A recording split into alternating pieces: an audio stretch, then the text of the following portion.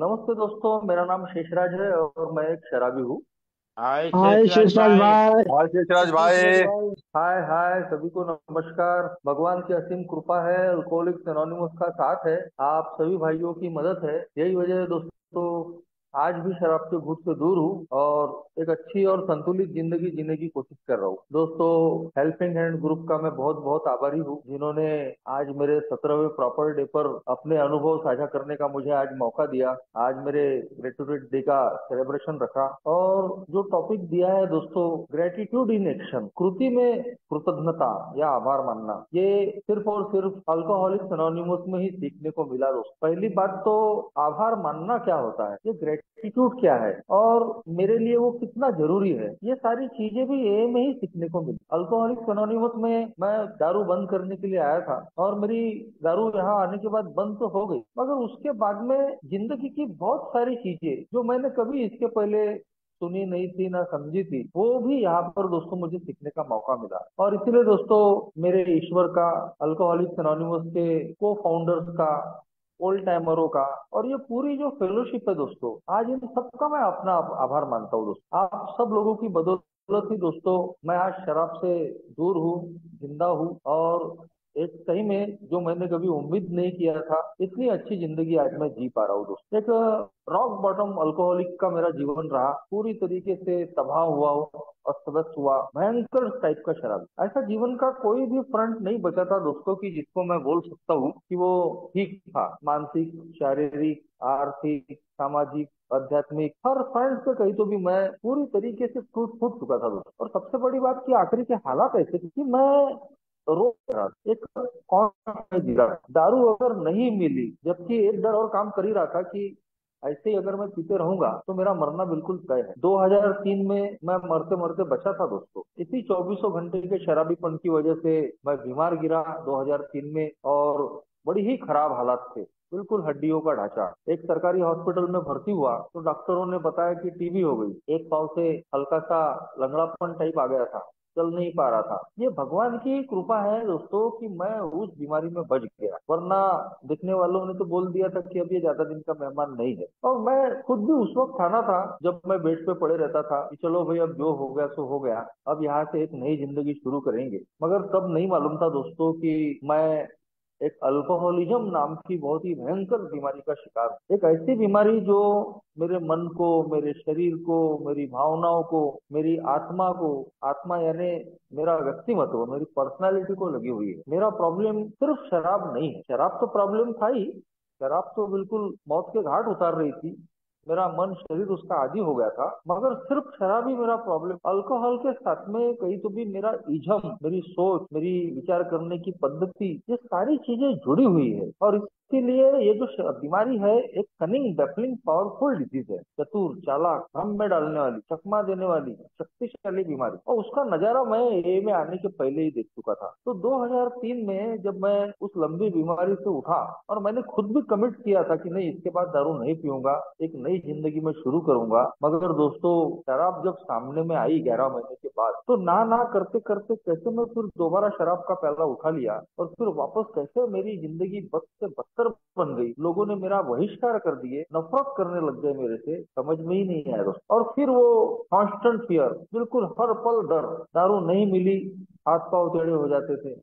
चक्कर आके गिरता था और मुँह को लग गई तो फिर ब्लैकआउट में जा रहा हूँ। कैसे तो भी गिरते पड़ते घर में आ रहा हूँ। घर के लोग पूरी तरीके से तंग आ गए। तो ऐसी मेरी परिस्थितियाँ रही दोस्त। इन भयानक परिस्थितियों में मैं ए में आया था। शादी नहीं हुई थी। शादी होने के कोई चांस नहीं थे। एक अच्छे व्यवसाय में था, मगर वहाँ दारू की बॉटल ही लेकर गया था। तो मेरा जो काम धंधा है, वो शुरू होने के पहले ही खत्म हो गया था। कर्जे थे, बहुत कम कर्जे थे, लेकिन उस वक्त मेरी हालत नहीं थी। उसको चुकता करने की। मानसिकता खराब हो गई थी। क्या करूँ, क्या नहीं, कुछ नहीं समझ रहा था। मेरी इच्छा तो थी दारू से दूर रहने की, मगर उतना पावर ही मेरे अंदर नहीं था, शक्ति ही नहीं थी। Lack of power was over dilemma, big book कहती है कि हमारे अंदर वो शक्ति ही नहीं थी शराब से दूर रहने की। हमारी इच्छा ज़रूर थी, हर शराबी आखिरी दिनों में इच्छा करता है कि नहीं यार, मेरी शराब बंद हो जाए। मगर दोस्तों वो पावर ही मेरे अंदर नहीं बचा था। जिस विल पावर के ज़रिए इंसान बहुत कुछ कर सकता है, लेकिन मेरे जैसा अल्कोहलिक दारू के सामने में पूरी तरीके से हजबल हो जाता है पावरलेस हो जाता है। सुबह कसम खाता है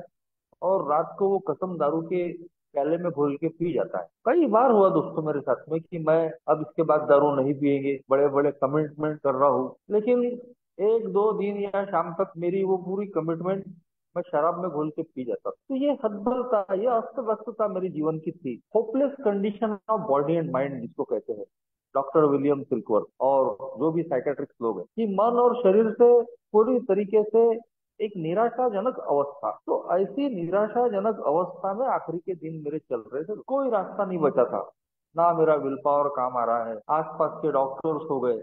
वो सब नींद की दवाइयाँ दे रहे वो देने वाले घबरा रहे फार्मेसी वाला डॉक्टर है बोले, ये क्या अभी गोलियाँ खा रहे हो? बोले, अभी अच्छा लग रहा है। मगर बाद में बोले, सब पता चलेगा बोले, सब निकलेगा बोले। और मेरे को कुछ सूझ नहीं रहा। एक सरकारी अस्पताल के साइकेट्रिक के पास में गया। वो दवाइयाँ देता था और बोलता था, दारू मत पीना। और मैं फिर वही प्रॉब्लम लेके दारू पी के ही उसके दवाखाने में जाता था, सरकारी अस्पताल में। तो एक बार हो गया, दो बार हो गया, तीसरी बार उसने मुझे भगा दिया। तो ये चीज़ें मेरे जीवन में चल रही थी दोस्तों। और ऐसे में ही दोस्तों जो कहते हैं कि जब सारे दरवाजे बंद हो जाते हैं तो ईश्वर कहीं तो भी एक रास्ता हमारे लिए एक दरवाज़ा खुला छोड़ता है। वो दरवाज़ा मेरे लिए कुछ साल पहले भी खुला था 2007 के पहले। लेकिन शायद दोस्तों, उस वक्त वो घड़ी आने की थी, मगर 2007 अगस्त में वो दोबारा मुझे एक मौका मिला और एक अल्कोहलिक जो मेरा दोस्त था एक ही इलाके में हम रहते थे, साथ में ही शराब पीते थे। वो दो महीने से शराब से दूर थे। दो महीने से वो दिखे ही नहीं थे मुझे। और जब वो दिखे तो बोले, यार, मेरी अभी शराब बंद है और मैं फलाना फलाना मीटिंग में जाता हूँ। तो कुछ दिन तो मैंने उनकी बातों को उतना इम्पोर्टेंस नहीं दिया। मुझे भरोसा नहीं हुआ। लेकिन मेरा जो दोस्त था, वो मेरे लिए साक्षात उदाहरण था। यार, ये आदमी दारू से दूर रह सकता है? तो मैं भी रह सकता हूँ। जाकर तो देख लेते हैं क्या होता है इस मीटिंग में। और फिर दोस्तों, हमारी यारी तो थी ही पुरानी।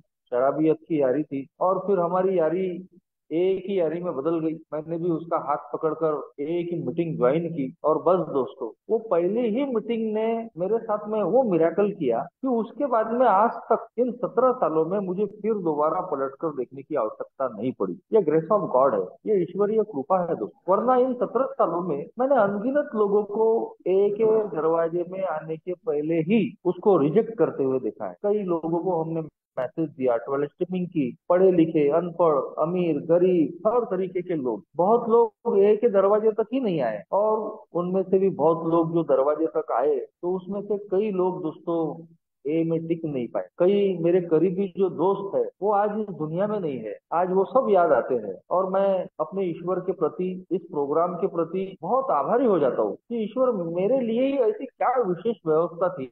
कि मैं यहाँ रुक गया, मेरी ज़िंदगी बच गई। और जब ए में कहते हैं दोस्तों we are chosen people of God हम भगवान के चुने हुए लोग हैं। ये सोबराइटी ये शराब की दूरी, ये नया जीवन, हर किसी के माथे पर नहीं लिखा है, हर किसी को नसीब में नहीं है। आज भी हम लोग देखते हैं कि शराब के अड्डे पे, सड़कों पे अनगिनत शराबी, शराब पीकर घूम रहे कई लोग शराब बंद करना चाहते हैं, मगर दोस्तों उनको रास्ता नहीं मालूम, उनको ए का पता नहीं मालूम। कई बार तो मैं देखता हूँ कि जहाँ ए का ग्रुप चलता है, उसके ठीक पीछे में रहने वाले लोगों को नहीं पता होता। ए में जहाँ मैं अब मीटिंग करता हूँ, वहाँ पर दोस्तों मेरे ए में आने के पहले से वो ग्रुप चल रहे, दर्जनों बार मैं उस रास्ते से गया होगा। कई बार पोस्टर भी पड़ा होगा, मगर दोस्तों तो उस वक्त कभी ऐसा सोचा नहीं कि चलो यार ये दारू छोड़ने की जगह है तो यहाँ जाना चाहिए। तो ये एक ग्रेस ऑफ़ गॉड है दोस्तों। हम ईश्वर के चुने हुए लोग हैं। ये मैसेज ईश्वरीय है। ये सबको नहीं मिलता। और जिसको मिल भी जाता है, वो इसको टिका के कितना रखता है, ये भी चीज़ें मायने रखती है। आज मैं बोल सकता हूँ दोस्तों कि ये जो मेरा जीवन है, ये मेरा पुनर्जन्म है। एक जन्म मैं पहले ले चुका हूँ, लेकिन मैं अगर ए में नहीं आता तो शायद आज ज़िंदा नहीं होता। तो आज मैं जो ज़िंदा हूँ, मैं आज शराब से दूर हूँ। एक बिल्कुल बहुत ही बढ़िया ज़िंदगी आज मैं जी रहा हूँ। मैंने कभी विचार नहीं किया था, सोचा नहीं था मेरी शादी हो जाएगी। मैं ए में आया, तब मैं कुंवारा आया था दोस्त। चौतीस साल की उम्र हो गई बाकी सब दोस्त भाइयों की शादियाँ हो गई थी सेटल हो गए थे और मुझे ताने मारते थे। अभी इसकी शादी कब होगी? और बेवड़ेपन में भी मैं लड़कियाँ देखने जाता था। तो मेरे जाने के पहले ही मेरी खबर पहुँच जाती थी। तो कई बार मैं ये क्या ये में आने के पहले मैं रिजेक्ट हो चुका था। तो शादी होना तो बिल्कुल इम्पॉसिबल था। आज दो बच्चे हैं। आज मेरा काम धंधा जो पूरा खराब हो चुका था मेरा आज काम धंधा ठीक है। लोगों ने जो बहिष्कार कर दिया था मेरा, मैं अकेलेपन में चले गया था तो आज ज़्यादातर लोगों ने मुझे अपना लिया। तो ये जो कुछ भी आज मुझे मिला है, आज मैं जो कुछ भी हूँ, एक इतनी अच्छी, बेहतरीन ज़िंदगी आज मैं जो जी रहा हूँ तो ये दोस्तों, इस ए की बदौलत और मेरे ईश्वर की बदौलत। आज पल पल मेरा ये आभार फूट फूट के निकलता है दोस्तों। मगर अल्कोहलिक्स एनोनिमस की मीटिंग में आने के बाद ही आभार क्या होता है? कृतज्ञता क्या होती है? ग्रेटिट्यूड किस चिड़िया का नाम है? ये कैसे प्रकट किया जाए? इसके तरीके क्या है? ये सारी चीज़ें भी ए में आने के बाद ही सीखने को मिली। पहले वो जीवन नहीं था दोस्तों। पहले एक स्वार्थी और बेमान किस्म का मैं आदमी था, जो सिर्फ़ अपने मतलब के लिए जी रहा है। इवन मैं अपने पैदा करने वाले माँ बाप से भी स्वार्थी था। वो खाना दे रहे थे, मैं खाना खा रहा था। कभी दारू के लिए पीछे पड़ रहा हूँ, कभी कोई और सुविधाओं के लिए उनके पीछे पड़ रहा हूँ। मगर उसके बदले में मैं उनको क्या दे रहा था? जो भी मेरी रिस्पॉन्सिबिलिटीज थी, मेरे कर्तव्य थे, क्या मैं वो निभा रहा था? जो माँ बाप जिन माँ बाप ने मुझे छोटे से बड़ा किया, कई बीमारियों से बचाया होगा, न जाने क्या क्या पापड़ गले हो गए। मेरे अल्कोहलिज्म को तो झेला ही झेला। मैं बीमार गिरता था, मेरी सेवाएँ करते थे। जब मैं 2003 में बीमार गिरा या उसके पहले भी कई बार बीमार गिरा तो मेरे पिताजी मुझे दवा खाने ले जाते थे। मेरे पिताजी भी शराबी थे, मगर मैं उनसे खुन्नस करता था। और सारा ठिकरा जो है, वो मैं, मेरे पिताजी पर थोपता था कि इनकी वजह से ऐसा हुआ। तो पीने के दिनों में कई बार मैं उनके अपमान किया, मेरी जबान खराब हुई गाली गलोच हुई। और एक बार मैंने उन पर हाथ उठा दिया। ये अल्कोहलिज्म है दोस्तों। ये मेरी नैतिकता का अधपतन है कि अपने पिताजी पे मैंने हाथ उठाए, उनको गाली गलौज की और वही पिताजी दोस्तों, जब मैं बीमार गिर रहा हूँ तो मेरी सेवा कर रहे, मुझे टॉयलेट ले जा रहे, मुझे बाथरूम ले जा रहे और बदले में मैं क्या दे रहा था उनको। तो एक ऐसा बेईमान और स्वार्थी किस्म का इंसान कि जो लोगों की मदद तो ले रहा है, मगर दोस्तों उसके प्रति उनके प्रति उसके मन में किसी प्रकार का कोई भाव नहीं है। कोई आभार की भावना नहीं है। कोई ग्रेटिट्यूड कोई कृतज्ञता नहीं। खास तौर पे पीने के मामले में बड़े ही हाथ जोड़ के, झूठ बोल के, मक्कारी करके, टोपी पहना के लोगों से मैं पैसे लेता था। मेरी तबीयत खराब है, मुझे दवाखाना जाना है तो पहले डिमांड सौ रुपए की रही बाद में सौ रुपए भी मिलने बंद हो गए। तो फिर पचास और फिर तीस और फिर दस और जब पैसे निकल जाते थे तो फिर मैं विजयी मुद्रा में ऐसा फील करता था, देखो कैसा उसको बनाया मैंने। कोई ग्रेटिट्यूड नहीं कि उस आदमी ने किस हालात में मेरी मदद की। आज मैं याद करता हूँ कि एक हमारे ही व्यवसाय के एक मित्र थे, वो बाहर गाँव से पढ़ाई करके नागपुर में आज रहते थे एक हॉस्टल में। और वो भी शुरू शुरू यानी इनिशियल डेज़ था उनका, वो अपने व्यवसाय में आने का और मैं भी। हम दोनों नए नए ही थे और मेरी शराब की लत उफान पे थी। तो एक बार मैंने उनसे पचास रुपए ले लिया सिर्फ़ पचास रुपए। और वो किस लिए पचास रुपए लिया? दारू के लिए लिया मैंने। फिर बाद में महीना भर हो गया, दो महीना हो गया, छह महीने हो गए, वो पचास रुपए मैं उनको वापस ही नहीं कर रहा हूँ। अब वो आदमी गाँव से आया हुआ, हॉस्टल में रह रहा है, उसकी कीमत वही जानता है कि पचास रुपए उसके लिए क्या मायने होते मैं तो ऐसे बादशाही ज़िंदगी में जी रहा था, जबकि मैं पूरी तरीके से बैंक हो चुका था। पूरी तरीके से दिवालिया हो चुका था। और मुझे लगता था, अपन तो कभी भी दे देंगे।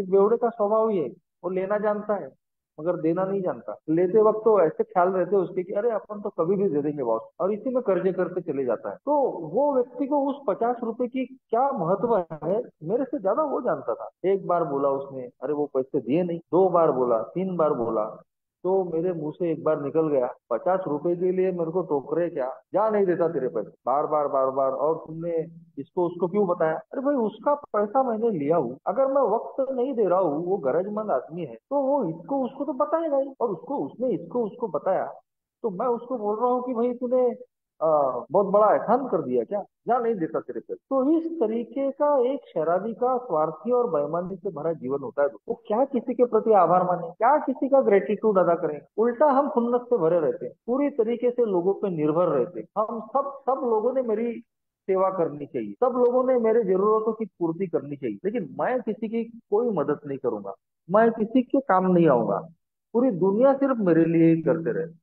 तो हम लोगों के ऊपर में पैसों के लिए निर्भर रहते, प्रेम के लिए निर्भर रहते। तो ये इस प्रकार का एक डिपेंडेंट ज़िंदगी मेरे जैसे अल्कोहलिक की होती है दोस्तों। लेकिन दोस्तों अल्कोहलिक एनोनिमस में आने के बाद में पहली बार जब मैंने ऐसे ही ग्रेटिट्यूड डे सेलिब्रेशन अपने फ़िज़िकल मीटिंगों में देखे, कोई भाई पहला बर्थडे मना रहा है, कोई भाई दूसरा, तीसरा, चौथा, दसवां मना रहा है, और शुरू में तो बर्थडे ही बोला जाता था उसको, लेकिन उसकी शेयरिंग में वो आखिरी में सबका आभार मानता था। और मैं, मुझे ये तरीका कुछ तो भी अलग लगा कि मैंने अपनी ज़िंदगी में भी बर्थडे देखे हैं। केक काटे जाते हैं, वेज, नॉनवेज खाया जाता है, डांस किया जाता है, एंजॉय किया जाता है। लेकिन ऐसे जो बर्थडे सेलिब्रेशन है, और एक ही बर्थडे सेलिब्रेशन में सबसे बड़ा डिफरेंस यही है दोस्तों कि ए का जो बर्थडे होता है, वो सिर्फ़ बर्थडे नहीं है, वो एक ग्रेटिट्यूड डे है। आभार प्रकट करने का दिन है। अल्कोहलिक एनोनिमस साल में एक बार हमको ऐसा डायस मंच देता है कि उस दिन हम साल भर के इस सफ़र में उन सब लोगों को याद करें जिन्होंने भी इस नई ज़िंदगी के सफ़र में हमारे लिए कुछ किया है। मैं अपने ईश्वर का आभार मान सकता हूँ। मैं ए के बनाने वाले को, को फाउंडर्स का आभार मान सकता हूँ ओल्ड टाइमरों का आभार मान सकता हूँ अपने स्पॉन्सर का आभार मान सकता हूँ अपने परिवार का आभार मान सकता हूँ। तो ये जो चीज़ें हैं ये मेरे लिए कुछ नई थी। ये एक ही एक अलग ही शैली थी और ये सिखा रही थी कि अब मुझे उन सब लोगों को याद करना पड़े। और जब जब मैं उन लोगों को याद करता था तो मैंने उनके प्रति जो भी अत्याचार किए, जो उनका मैंने शोषण किया, जो उनकी प्रताड़ना की, वो भी चीज़ें याद आती थी। आज मैं बर्थडे है मेरा, मैं ग्रुप में बर्थडे सेलिब्रेट कर रहा हूँ, टोकन ले रहा हूँ, और बस इतना बोल के निकल रहा हूँ कि मेरा परिवार नहीं होता तो मैं ज़िंदा नहीं होता। ए नहीं होती तो मैं ज़िंदा नहीं होता। ए के को फाउंडर नहीं होते तो मेरी शराब दूर नहीं होती, इतना बोलकर मैं निकल जाता हूँ। मगर दोस्तों धीरे धीरे जैसे जैसे मैं ए में आते रहा, सीखने की ये शुरुआत थी कि अब आभारी रहना पड़े। साल में एक बार तो भी उन सब लोगों की गिनती करनी पड़ेगी। जिन जिन लोगों ने तेरी इस नई ज़िंदगी के लिए मदद की है, उन सबका नाम लेना पॉसिबल नहीं होता है।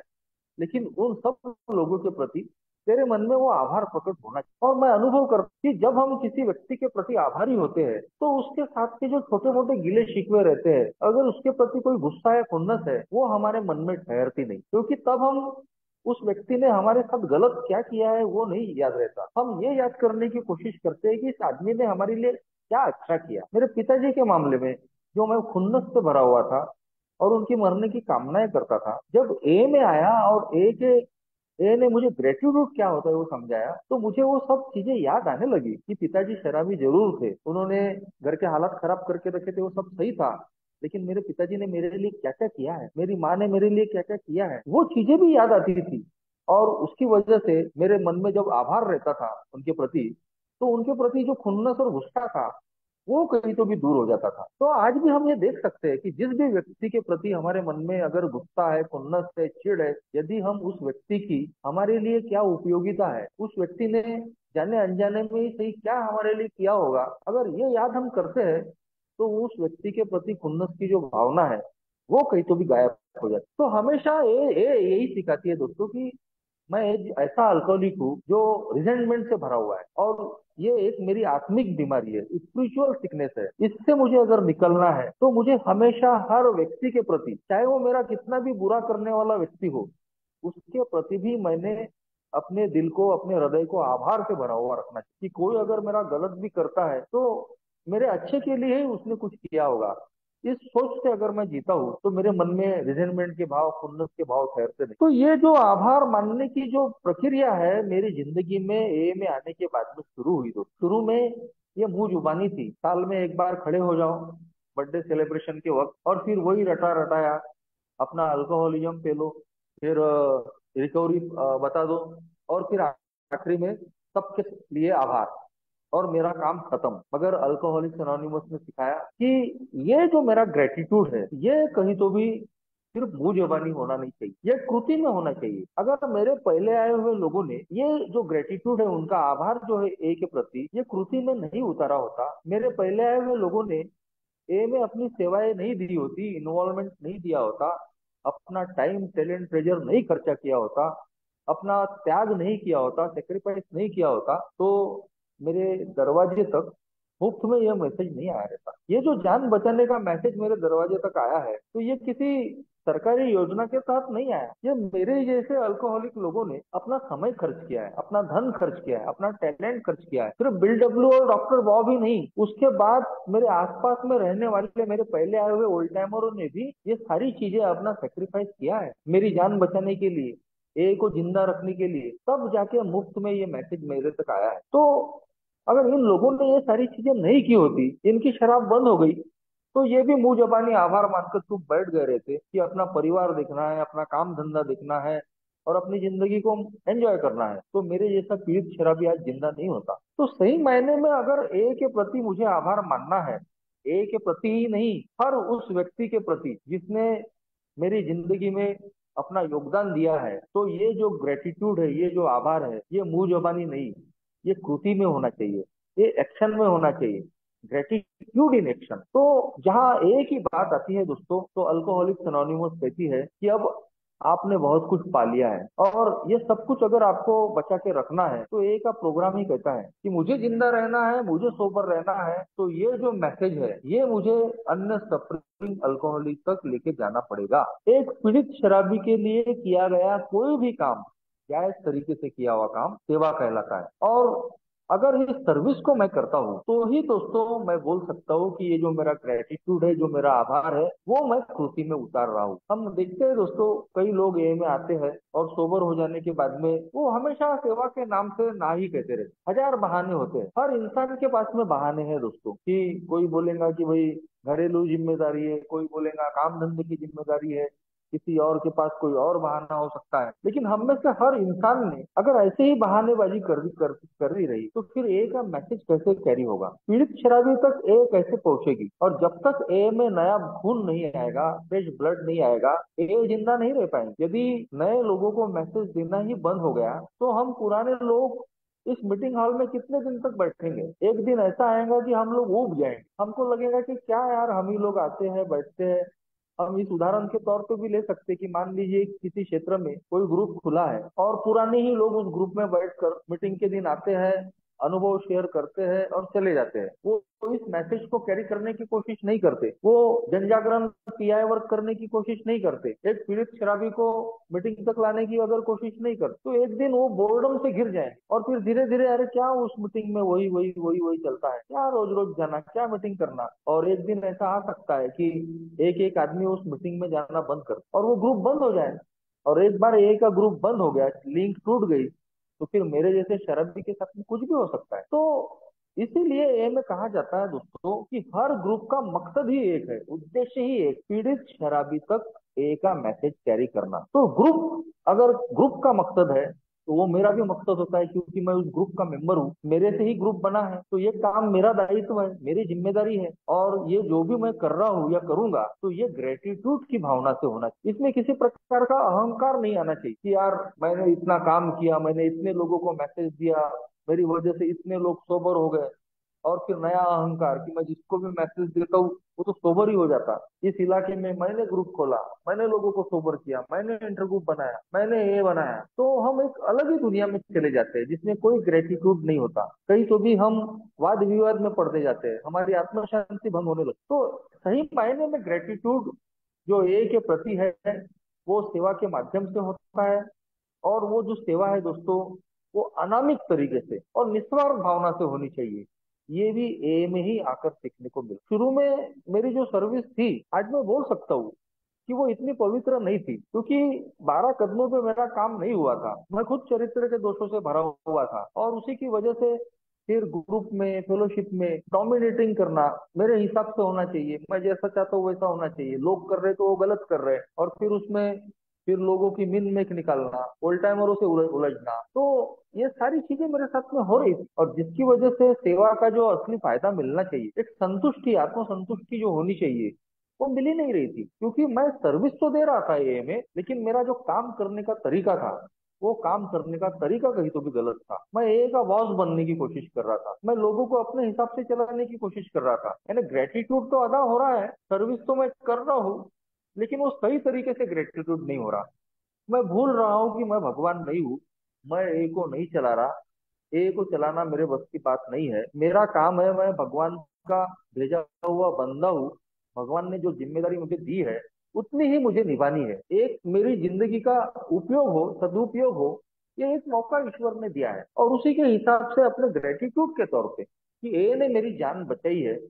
और इसीलिए आज ये जो मेरा आभार है मैं इस सेवा के माध्यम से प्रकट कर रहा हूँ। तो ये चीज़ करने की बजाय कहीं तो भी मैं अपने व्यक्तिगत स्वार्थ के लिए या अपनी महत्वाकांक्षा के लिए या मान सम्मान की भूख के लिए ये चीज़ें कर रहा था। और जिसका ये नतीजा था कि अच्छी सर्विस, एक्टिव सर्विस करने के बाद भी मेरे मन में संतुष्टि नहीं थी। ए में आने के बाद भी लोगों से मेरे संबंध खराब थे। ओल्ड टाइमरों से उलझ रहा हूँ न्यू कमरों को कुछ बोल रहा हूँ। तो सर्विस तो हम करते हैं दोस्तों, लेकिन कई बार सर्विस करने का जो तरीका है हमारा वो गलत हो जाने की वजह से फिर उसके लाभ हमको नहीं मिलते। जबकि आज मैं इन सत्रह सालों के अनुभव के आधार पर बोल सकता हूँ कि जब हम एक ही सर्विस निस्वार्थ भाव से और अनामित तरीके से बदले में किसी अपेक्षा न करते हुए और ज़्यादा उसका ढिंडोरा न पीटते हुए जब हम करते हैं तो ऐसी आत्मसंतुष्टि मिलती है, ऐसी चित्त शांति मिलती है कि वो बाज़ार में आप दौलत से भी खरीद नहीं सकते। वो पीस ऑफ़ माइंड वो सेरेनिटी आज मैं वो सेवा के माध्यम से पा रहा हूँ दोस्त। जब मैं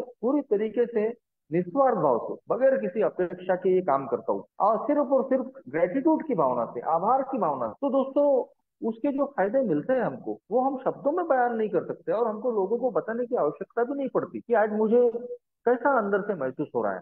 एक उपयोगी होने की भावना कि दुनिया ने जिसको एक समय में निरुपयोगी घोषित कर दिया था, यूज़ कि ये आदमी कोई काम का नहीं है, परिवार वालों ने भी आखिर में बोल दिया था कि ये आदमी अब कल मरे तो आज मर जाए। लेकिन भगवान ने और ए ने मुझे उपयोगी बनाया। ईश्वर ने मेरे अंदर में वो शक्ति डाली है दोस्तों कि जो एक डॉक्टर के पास नहीं है, जो एक साइकेट्रिस्ट के पास नहीं है, जो किसी धर्म गुरु के पास नहीं है। लेकिन ईश्वर ने वो पावर मेरे अंदर में डाला है कि मेरे अनुभव से एक पीड़ित शराबी प्रभावित होके शराब से दूर हो सकता है।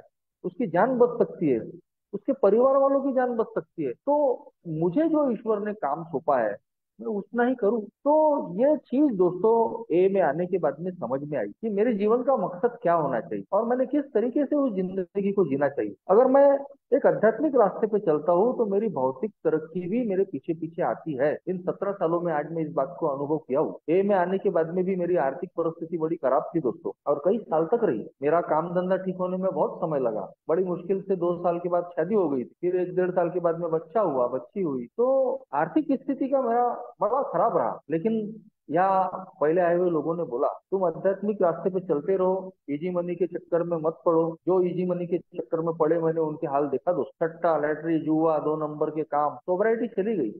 आज उनमें से कई लोग दुनिया में भी नहीं। तो यहाँ बताया जाता है कि भाई गो स्लो धीरे चलो। धीरे धीरे सब ठीक होने वाला है। आज मैं देखता हूँ, वो संयम काम में आया। मैंने अपने आप को ए में लगातार बनाए रखा। निरंतर मैं जब से ए में आया हूँ, तब से निरंतर ए के टच में हूँ। पहले जो सेवा करता था, मैं उसके तरीके गलत थे, लेकिन धीरे धीरे मैं सीखते गया कि ए के प्रति जो मैं ग्रेटिट्यूड अदा कर रहा हूँ ग्रेटिट्यूड अदा करने के नाम पे जो सर्विस कर रहा हूँ तो वो पूरी तरीके से निस्वार्थ भाव से होनी चाहिए, अनामिक होनी चाहिए एक ओल्ड ने बहुत अच्छा शब्द बोला था कि अनामिक तरीके से काम करना यानी मेरे अगर बाएँ हाथ से मैं किसी की मदद करता हूँ तो मेरे दाएँ हाथ को भी पता न चले। पर मेरा स्वभाव ऐसा था क्या? मैं तो एक तो पहली बात तो मैं दूसरों पे ही निर्भर व्यक्ति था, दूसरों से ही मदद की अपेक्षाएँ करता था। लेकिन जब मैंने किसी को कुछ देने की बात शुरू की तो मैं वो देने के बाद में उससे निकलना जाता था। यानी बदले में अपेक्षाएँ रखता था। उसमें कोई निस्वार्थ भाव नहीं होता अल्कोहलिक एनोनिमस में भी हम सेवा करते वक्त कई बार अपेक्षाएँ करते हैं कि हमको मान सम्मान मिले, जिसके लिए भी हमने काम किया, वो फिर हमारे कहने में रहे। मैं जैसा चाहता हूँ, वैसा उसने करना चाहिए, बोलना चाहिए। मैं ग्रुप में इतना काम करता हूँ तो ग्रुप के लोग मेरी सुने, मेरे हिसाब से चले। मैंने इतने ग्रुप खोले, मैंने इतने लोगों को मैसेज दिया। मैंने मेरी ये फेलोशिप मैंने बनाई मुझे पूरी दुनिया का नॉलेज है।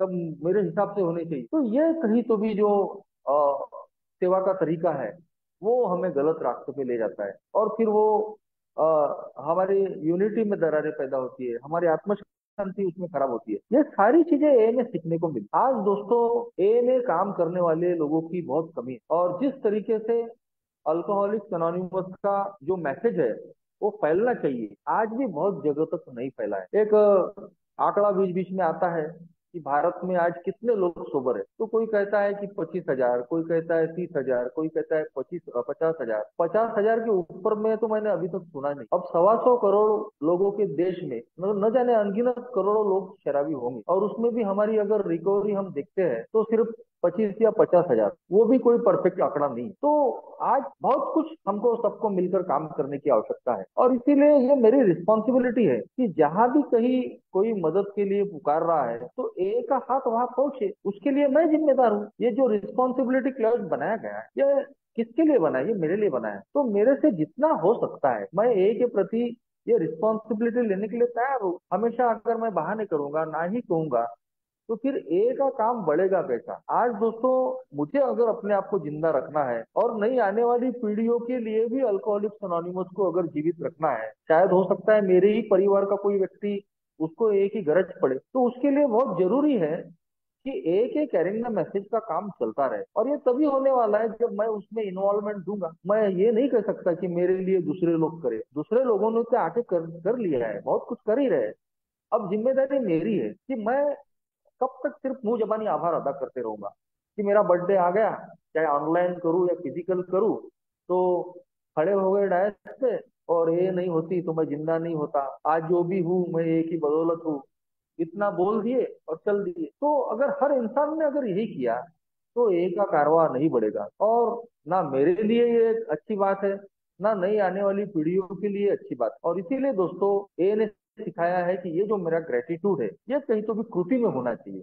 ये ग्रेटिट्यूड इन एक्शन होना चाहिए। मैं जिस भी हालात में हूँ, जैसी भी परिस्थितियों में हूँ, जैसा भी मुझे होता है, कई प्रकार ए में सेवा के बताए गए। मैं पद लेके भी सर्विस दे सकता हूँ और बगैर पद के भी सर्विस दे सकता हूँ। किसी ग्रुप का अगर मेंबर हूँ तो हर साल रोटेट होने वाली कमिटी बनती है चेयरमैन सेक्रेटरी तो कोई साल भर के लिए होता है, कोई दो साल की बॉडी होती है। तो जब भी मुझे मौका मिलता है तो मैंने सेवा देनी चाहिए। हमेशा मेरे लिए ही लोग कब तक सेवा देते रहेंगे? मुझे भी कहीं तो भी ज़िम्मेदारी लेनी चाहिए। कभी मैं ट्रेजरर बन जाऊँ, कभी पीआई चेयरमैन बन जाऊँ, कभी ग्रुप का सेक्रेटरी बन जाऊँ। और अगर मैं नहीं पद ले सकता हूँ तो बगैर पद के भी हम अपने ग्रुप में सेवा का काम कर सकते हैं। कई लोग तो इस माध्यम से भी अपनी सेवा देते हैं, कई ओल्ड टाइमर मीटिंग में आकर बैठ जाते हैं। वो शेयरिंग नहीं करेंगे। लेकिन मीटिंग में ज़रूर आते हैं। और उनको देखकर नए लोगों को एक हिम्मत मिलती है कि इसको इतने साल हो गए, मगर ये आदमी आज भी मीटिंग में आता है। तो इसका मतलब है कि मुझे भी मीटिंग में आना पड़ेगा। कई लोग, जैसा मैंने भी बताया कि जब मैं पहली दिन मीटिंग की तो मीटिंग खत्म होने के बाद में जब हम चाय के अड्डे पे गए तो कुछ लोगों ने मुझे गले लगाया। कुछ लोगों ने मेरी पीठ पे हाथ फेरा, हाथ मिलाया और बोले, यार, आते रहो। हमारा अच्छा हुआ, तुम्हारा भी अच्छा होगा। तो जब मैं मीटिंग में जाता हूँ तो क्या मैं देखता हूँ कोई नया आदमी आया है? क्या मैं उसके पास जाता हूँ, उससे बात करता हूँ? कभी कभी हमको आदत होती है कि नए आदमी का बहुत ज़्यादा दिमाग खराब कर डालते हैं। तो वैसा नहीं करना चाहिए। लेकिन कम से कम हम उससे मिल तो सकते हैं, उससे हाथ तो मिला सकते हैं, उसको मोटिवेट तो कर सकते हैं। बहुत सारे लोग स्पॉन्सरशिप देते हैं। ये भी एक सर्विस है, दोस्त। कई लोगों को प्रोग्राम के बारे में समझ नहीं होती। कोई बारह कदम समझना चाहता है। किसी को इनिशियल डेज़ में अल्कोहल से दूर रहने के लिए स्पॉन्सरशिप लगती है। ये सारे सेवा के प्रकार है। आगे स्ट्रक्चर सर्विस है। अगर हम ग्रुप के चेयरमैन है, हम बाद में आईजीआर बन सकते हैं, हम इंटर ग्रुप में जा सकते हैं, हम इंटर ग्रुप चेयरमैन बन सकते हैं। अगर और सेवा का मौका मिलता है, हमारे पास समय है तो हम डेलीगेट बन सकते हैं एरिया के। हम जीएसओ में ट्रस्टी बन सकते हैं। ये सारे सेवा के जो पद है दोस्तों, ये इसमें हम जो सर्विस देते हैं तो उसका आखिर में रिश्ता ग्रेटिट्यूड से ही है। सारे जो काम हम करते हैं, कोई अधिकार पाने के लिए नहीं करते, या किसी पे अधिकार जताने के लिए, रौब जमाने के लिए नहीं करते, या किसी को आदेश देने के लिए नहीं करते। हम ट्रस्टेड सर्वेंट है। हमारी बारह परंपराओं में से जो दूसरी परंपरा है, वो कहती है कि हम ट्रस्टेड सर्वेंट है। हम विश्वासु सेवक है। ग्रुप ने हमको विश्वास करके सेवा के लिए चुना है। आदेश देने के लिए या हुकूमत चलाने के लिए नहीं किया है।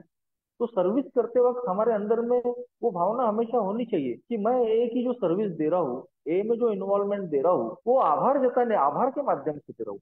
ये मेरा एक ग्रेटिट्यूड है। भगवान ने दोस्तों भर भर के मुझे मौका दिया शुरू से लेकर आज तक। जब मैं छह महीने ही सोबर था तो अपने होम ग्रुप में मुझे चेयरमैन बनने का मौका मिला। और उस चेयरमैनशिप ने अगले तीन सौ पैंसठ दिन मुझे सोबर रखने का काम सर्विस कीप मी सोबर जो कहते हैं, कि सेवा हमको सोबर रहने में मदद करती है।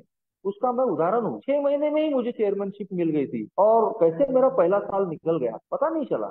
उसके बाद मैं निरंतर एक ही मीटिंग में इन्वॉल्व रहा carrying the message twelve stepping 2012 में हमने अपने इलाके में इंटर ग्रुप बनाए, उसमें नए ग्रुपों के लिए काम करना। आज पाँच ग्रुप से वो, सत्रह ग्रुप हो गए और कई तो भी सब मिलजुल के हम काम करते हैं। तो जब ये सब हम देखते हैं तो दोस्तों, एक सेटिस्फेक्शन मिलता है, एक उपयोगी होने की भावना अंदर आती है। कि ईश्वर मैं एक जमाने में बिल्कुल निरुपयोगी इंसान था यूजलेस इंसान था, तूने काम का बनाया। तो आज कहीं तो भी ये जो ग्रेटिट्यूड है, ये ग्रेटिट्यूड रोज के रोज मुझे अदा करना पड़ता है। और वो भी कृति में। मैंने जब भी एक ही तरफ़ से मुझे कोई कॉल आया, बुलावा आया, सेवा का करने का मौका आया, मैंने ना नहीं कहा। कोरोना लॉकडाउन में तो दोस्तों ईश्वर ने इतना भर भर के मौका दिया कि एक ही दिन में मैंने तीन तीन चार चार स्पीकर मीटिंग लोग कहते थे कि जितनी लोगों ने मीटिंग नहीं की होंगी, उतनी शेषराज ने स्पीकर मीटिंग और मैंने कभी ना नहीं बोला, क्योंकि वो कोरोना का लॉकडाउन का पीरियड था, मैं भी खाली ही रहता था, काम धंधे है नहीं। तो जूम मीटिंग्स में ही जुड़े रहो जूम है ब्लूटूथ है तो कोई किसी टॉपिक पे, कोई किसी टॉपिक पे। और आज भी दोस्तों मैं शेयरिंग के लिए मना नहीं करता।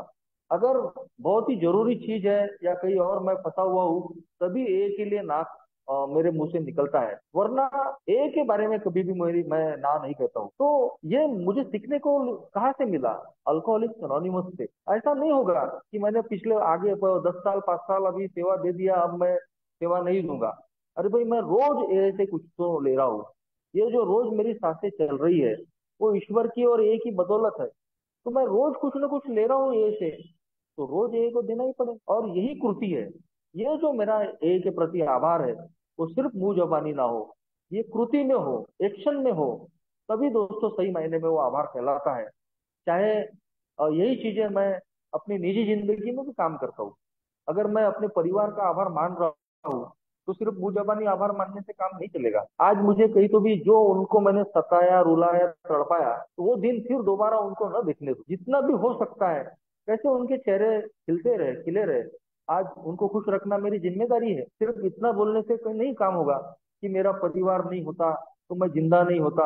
आज रिस्पॉन्सिबिलिटी ज़्यादा है। आज मैं अपने परिवार को कितना समय दे रहा हूँ, कितना उनका ख्याल रख रहा हूँ।